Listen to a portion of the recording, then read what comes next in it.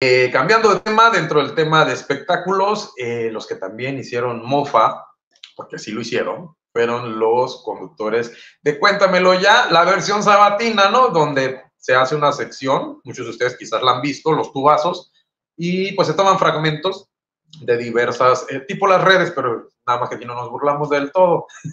Ellos sí lo hacen. Entonces, en este caso, y que está bien, está bien, porque de eso se trata la sección. Lo que a mí no me pareció fue lo que estuvieron manejando respecto a la salud de Ricardo Casares, quien eh, pues, sufrió un infarto, fue, pues estuvo al borde de la muerte y realizaron mofa respecto a esta situación, aunque luego la quisieron acomodar. Pero bueno, tenemos el clip cortito y ahorita veamos qué fue lo que dijo Paul Stanley, qué fue lo que dijo el mismo Ricardo. Y pues bueno, recordemos por si no lo vieron. neta, un aplauso a mi patito Borghetti, te mando un beso, es un héroe sin capa, que le salvó la vida al tal Ricardo Oigan, oigan, y al que le salvó la vida, ¿qué pitos toca? Ah, pues es uno de los 400 conductores que tiene Venga la Alegría. No lo ubico. Oye, es que no te agrandes, él no sabe ni quién es, pero no te preocupes, Juanito. Digamos que él es como el Juanito, pero de allá. O sea, que está, pero si falta, pues no pasa nada. Ah, me encantaría tener un compañero como mi querido Pato Ah, Pero tú lo quisieras para hacerlo Pato y bañarlo La verdad sí se rifó. Sí es amigo, no como ustedes que son todos una bola de hojaldras. Ah, ¿por qué? Otra vez me estaba ahogando y nadie de estos hojaldras me ayudó. Ah, fue la otra vez cuando estábamos ahí. ¿Por qué pensamos que estabas jugando a la Ah, sí, sí. ¿Jugaba a la mímica? Pues bueno, ahí pudieron escuchar de esta situación donde está el mismo Juan Julio, que si quién es Ricardo Cáceres. Ahora resulta que no vas a conocer a las personas que integran la pantalla de la televisión mexicana y más dedicándote al tema del entretenimiento, ¿no? Queriendo hacerlo chistosos.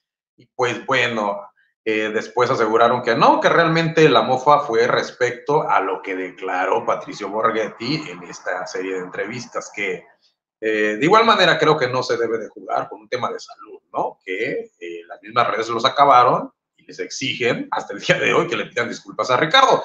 Por lo que algunos eh, periodistas amagaron o interceptaron de alguna manera, por así decirlo, a Paul Stanley para saber qué tenía que decir al respecto y pues aquí está. Ya sé que van a preguntar. A ver qué. ¿De qué? Oye, que el bebé que no, que no estoy No, no, no. Oye, que la boda que ya me casé. Oye, que el documental que ya se terminó. No, Oye, no, ya sé de qué van a preguntar. ¿De qué? De lo de Richie. Miren, les voy a ser sincero. Número uno, tienen que ver bien el video porque nunca nos burlamos de, de lo que le pasó a Ricardo. Las personas, la gente que me conoce, bueno, por mi parte, sabe bien que nunca me burlaría de la desgracia. Número uno. Número dos, los invito a que vean bien el video porque, pues fue lo que llevamos a la, a la televisión solamente fue el video que, que sacó Pato y cuando, y cuando este, lo están entrevistando y de eso hablamos, nunca hablamos de, de lo que le pasó a, a Richie. De hecho, yo la neta le tengo gran aprecio a Ricardo y escribí en su momento y este y lo repito, jamás haría broma menos Algo de, tan serio, ¿no? de algo tan serio, o sea, pero lo, lo más cañón es que pues muchos o medios o que se dicen llamar medios pseudo periodistas, ¿no? En las redes sociales, pues toman lo que les conviene y es lo que suben y entonces al final pues al que al que chingan es a uno, ¿no? Esa es la realidad. Pero bueno, sin duda también eh, pues eh, tal vez mal tino, ¿no? Eh, comentar en ese momento. ¿Y ya hubo esta aclaratoria con Ricardo? No, mira, yo este, en el día que el día que, que pasó eso, yo le escribí eh, para desearle que estuviera todo bien, que se mejorara y todo. Me contestó y le puse otro mensaje. Y la verdad es que no me siento culpable porque en ningún momento me burlé de él ni de su situación. O sea, si, así que si lo hubiera cagado, lo, lo hubiera reconocido y, y le pido una, una disculpa, pero, pero pues no siento que, la neta, o sea, no, no, ni me burlé ni, ni este, pues sí, no, o sea. Eh, realmente él sabe que, que le guardo gran aprecio y eh, le escribí, entonces creo que las cosas solamente era aclararlas, tal vez también con... Ay, claro que se burlaron, claro que se burlaron. Vean el video, escuchen el audio. No, no, no puede ser que se quiera justificar. Por lo menos yo así lo pienso, ¿no? Ustedes ya expresarán quizás o piensen distinto, ¿no? Pero bueno, eh, dentro de su mismo programa, Ricardo Casares y la misma producción, pues realizaron un enlace hablando del, no de, no de exactamente del tema de la burla, pero sí que del tema de salud de Ricardo. Se conmovió hasta las lágrimas también al mencionar la respuesta o los buenos mensajes que el público le hizo llegar, lo cual lo sorprendió y no es para menos. Y esto fue parte de lo que declararon en vivo en Venga la Alegría. Oye, este, se me parte el corazón, Ricky, es que nos asustaste horrible. Y sabes lo tanto que te quiero, pero además sabes lo llorona que soy. y que al verte así, me da mucha felicidad. O sea, nos preocupaste mucho a todos aquí en el foro. Y sé que estás súper agradecido no nada más con tus compañeros o, o tu familia, la gente que te conoce y, y te ama, sino con todo el público que estuvo muy al pendiente de No, ti. ni me, ni me digas el público que me pongo a llorar yo porque les juro que voy a contestar cada uno de los mensajes. Me voy a tardar un montón, pero los miles y miles y miles de mensajes de, de gente que no conozco que me han, me han puesto cosas maravillosas, cosas... Cada uno de ustedes me ha ayudado a levantarme. Y me refiero a la gente que me ha escrito, que se me ha acercado. Eh, eh, aquí eh, las enfermeras, los enfermeros. No, no. Cuando la muerte te, te mira a la cara para decirle, hoy no, necesitas muchos milagros, necesitas muchos amigos, necesitas muchas herramientas. Y tuve la enorme fortuna de tenerlas todas, todas, todas. Y este, y nada, ya, ya, ya les iré eh, eh, platicando.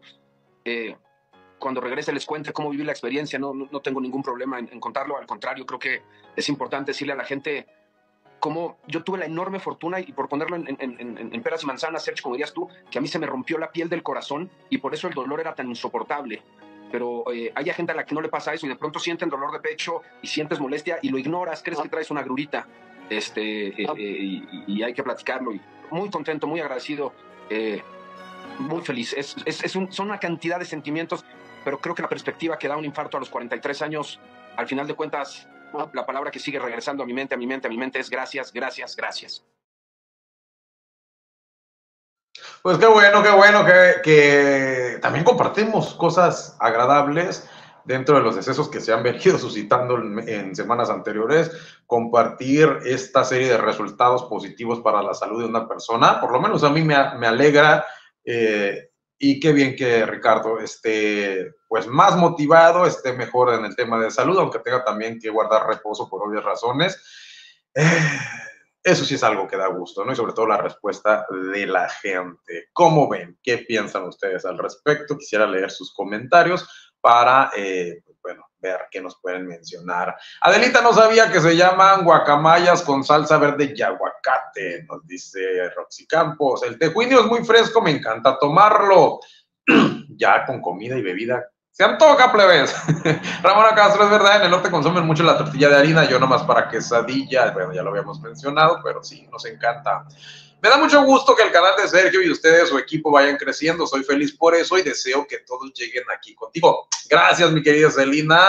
Y pues, perdón, es obra pues del trabajo, ¿no? Y de la constancia, sobre todo de lo- del equipo tan profesional que hace las investigaciones con Sergio.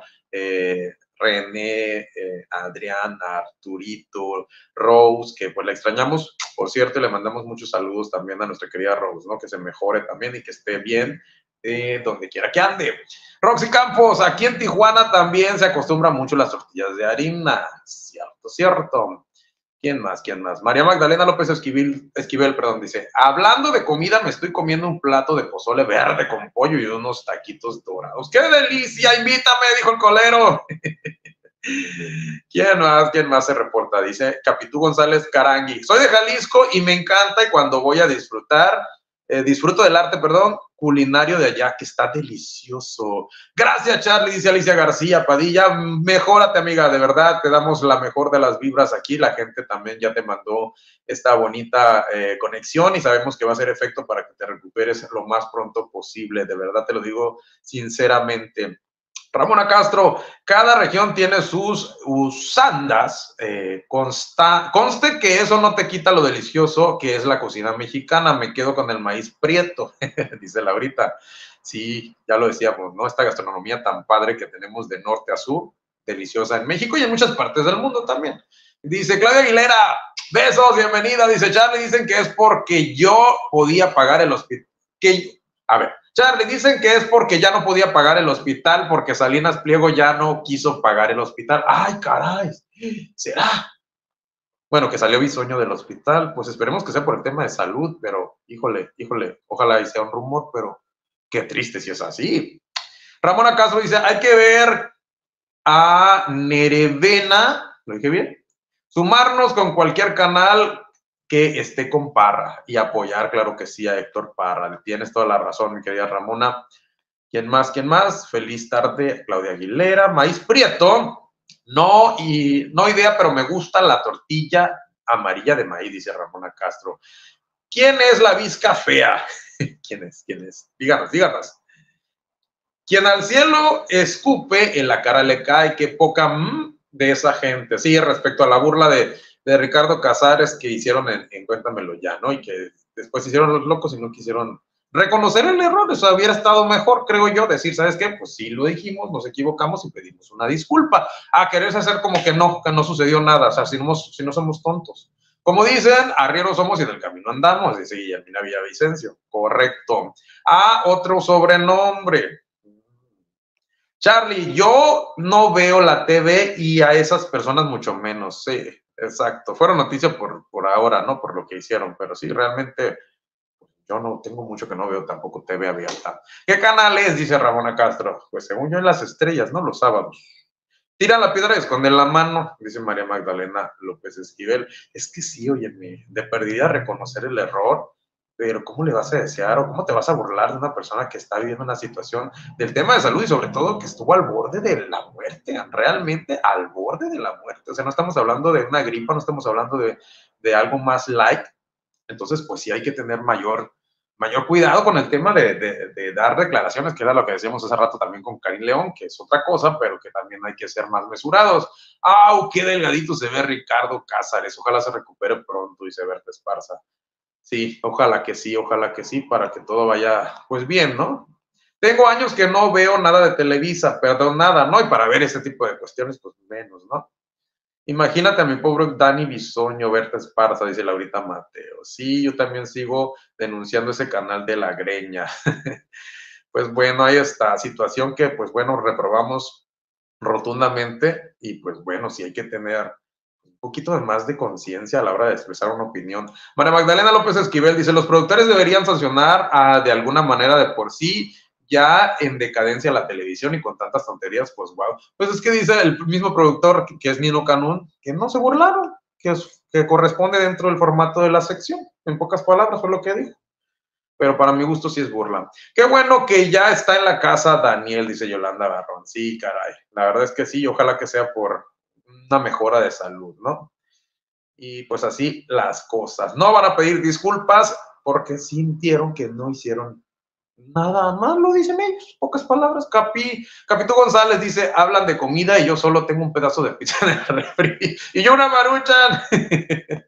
hola a todos en el chat de parte de Claudia Aguilera. Hola, hola. Muchas gracias, Elita. Yo invito los refrescos, dice Roxy. Y llévenme eso es verdad, Charlie. Eh, se dijo que para sacar a Daniel Bisoño firmaron una responsiva, pero que sigue delicado. Yo espero que pronto esté bien y Ricardo Casares también. Híjole, pues ojalá, ojalá entonces que sea, pues que, que sea para mejora, ¿no? Voy llegando, estoy lavando, dice Laura Mateo. Te esperamos cada semana en Taqueando TV. Nueva temporada. Sábados, 5.30 pm, tiempo de la Ciudad de México, a través del YouTube Pagueando Oficial.